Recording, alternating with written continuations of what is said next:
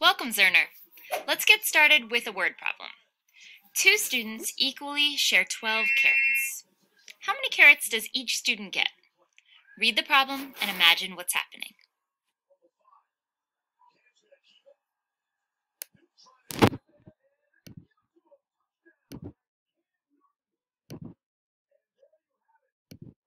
How many carrots are the two students sharing?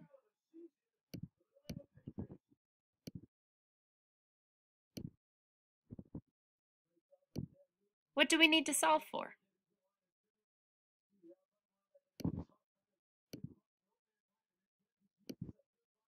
We need to solve for how many carrots each student gets. We can use this tape diagram to help us solve. There are 12 carrots in total. We need to share the carrots equally between two students. I'll represent two students by splitting the tape diagram into two groups or units. We know that two students are sharing all 12 carrots, so I'll pass out the carrots one at a time to each student to make sure they're shared equally. I've shared 12 equally between two groups. Your turn. Share 12 carrots equally between two students.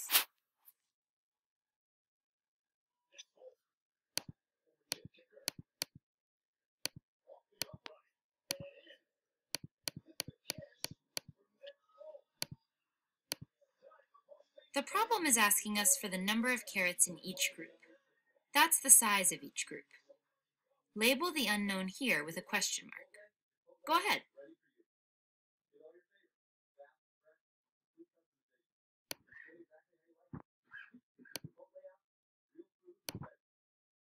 I'll label the unknown with a question mark. All the information from the word problem is labeled on our tape diagram. We know the total is 12 carrots, and they are being shared between two students. We don't yet know how many carrots each student gets, so that's our unknown. Choose a division sentence that represents our tape diagram.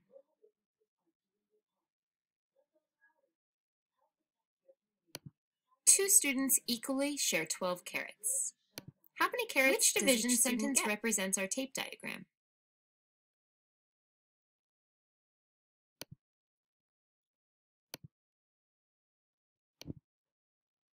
Twelve divided by two equals our unknown. We have 12 total carrots shared between two students, and we're solving for the number of carrots each student gets. Let's use our tape diagram and division number sentence to solve. How many carrots does each student get?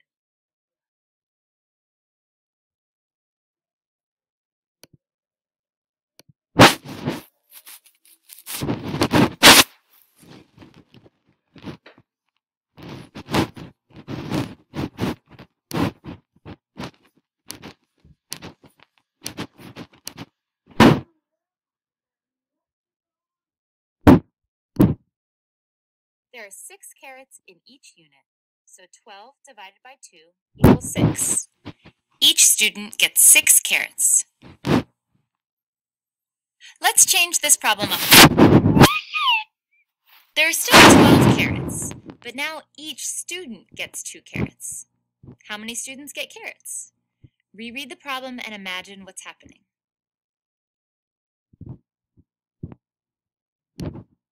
Reread the problem and imagine what is happening.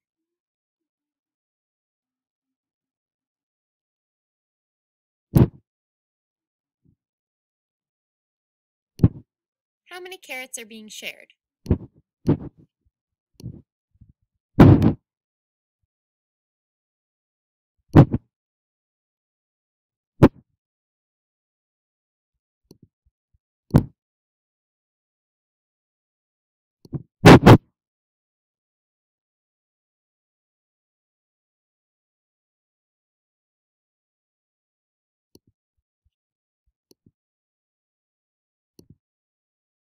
Are still 12 total carrots, but this time each student gets two carrots. We need to figure out the number of students who get carrots. What does 2 represent in this problem? The number of groups or the size of each group?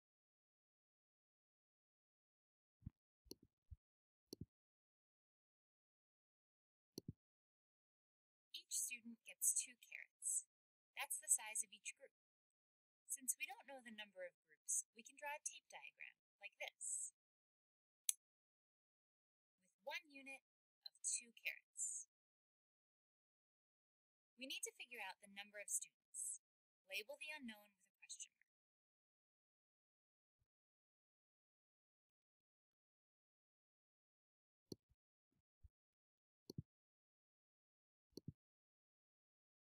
as I distribute two carrots to students until I get 12.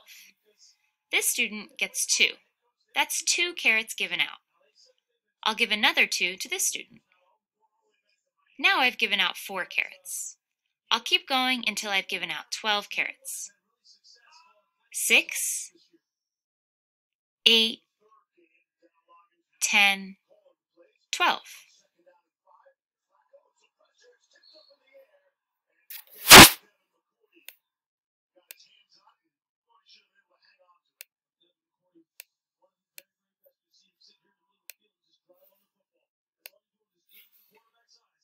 Each student got two carrots. Now, all the information from the word problem is labeled on our tape diagram. Write a division sentence that represents this problem using our tape diagram.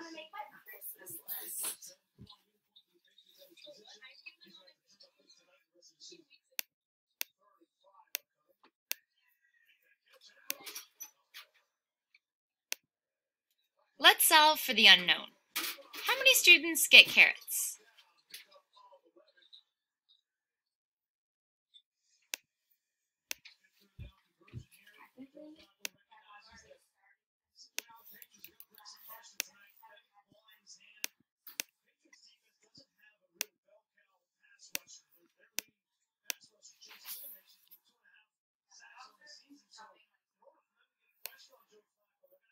There are six groups in our tape diagram, so 12 divided by 2 equals 6. Six students get carrots. Did you notice something about our two problems? The division sentences for these tape diagrams are the same, but the tape diagrams are different. The 2 and 6 represent different things in each problem, so they are represented differently in each tape diagram, either as units or the size of the unit. When we divide, we usually know the total number of objects.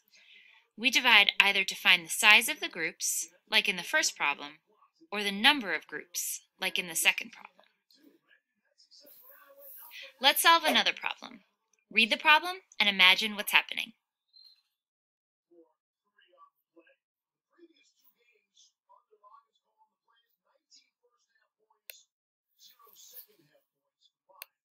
There are 10 chapters in Hannah's library book. She reads two chapters each day. How many days will it take for Hannah to finish her book?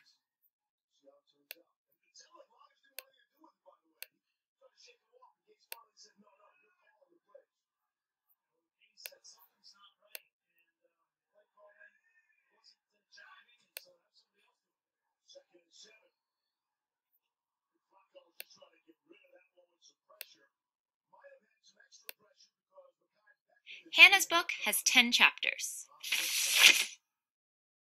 And she reads two chapters each day. We need to solve for how many days it will take her to finish her book. Which tape diagram represents this problem?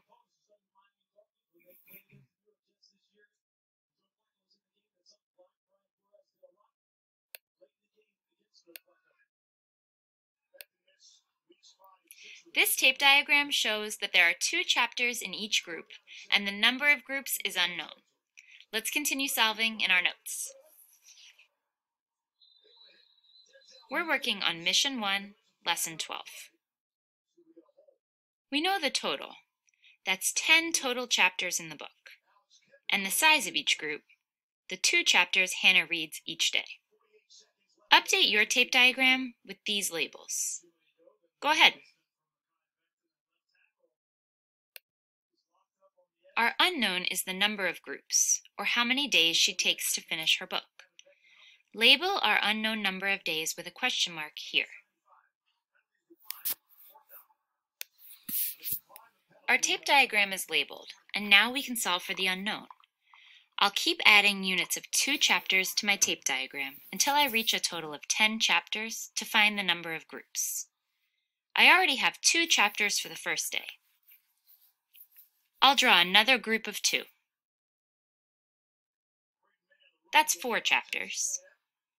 And another. That's six chapters. Keep going.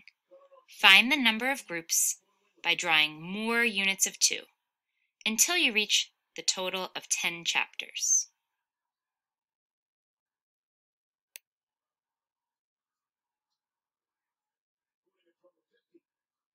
There are 10 chapters in total, and Hannah reads two chapters each day.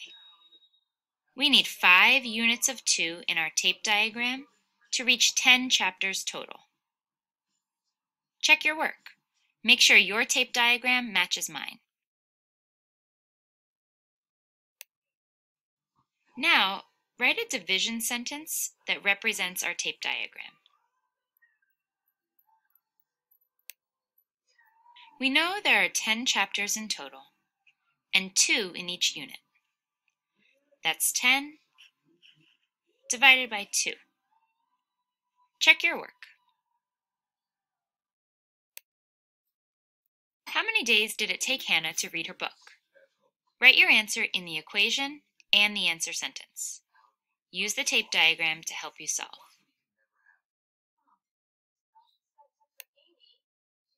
It takes Hannah five days to read her book. Nice work.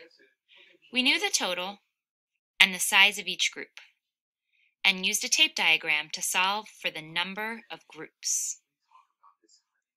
Check your work. Nice job using tape diagrams to solve division problems, learner. Keep it up in the Tower of Power.